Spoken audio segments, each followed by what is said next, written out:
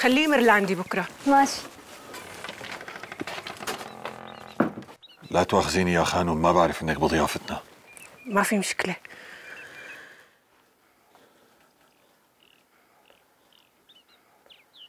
خير طمنيني. صاير شي لا سمح الله؟ صاير شيء كتير كبير. بس أنا ما بعرف كيف بدي أوصف لك إياه. اللي صاير إنه أنا أول مرة بحس بالأمان. ما بعرف كيف. بالوقت يلي كل الناس عم يتكالبوا علي لقيتك أنت سند وأمان. أنا ما بعرف أنت شو عملت لحتى خليت أبو سليم يرد لي حقي. بس اللي بعرفه إنه رب العالمين سخرك إلي لحتى تحميني.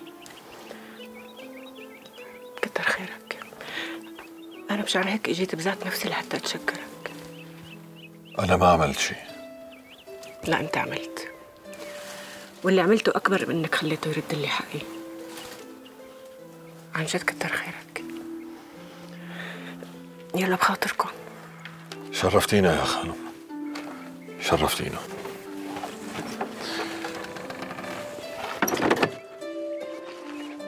أه، أنا حضرت لك الغداء رح ألبس ملايتي وروح على شغلي. الله يرضى عليكي.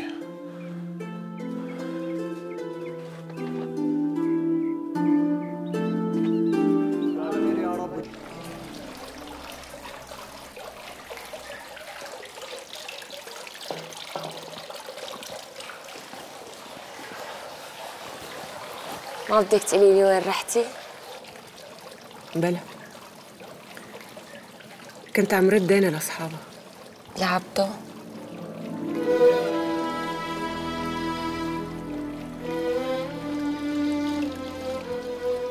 يا حسرتي عليكي يا سعاد. ما لحقتي تعيشي بعزه لأبوكي. البنت كتير بتنعز بأبوها. وأنا شفت هذا الشي بعيون بنته لعبته. قديش حلو الوحدة يكون عندها أب. يحبها ويخاف عليها ويكون سندها وأمانة وبظهرها إمتى ما كان الله يخلي لي إياك يا أمي. يديمك فوق راسي. خلي لي إياك يا حبيبتي. أنا إن شاء الله بوعدك إني أكون سندك وأمانك وجنبك كل العمر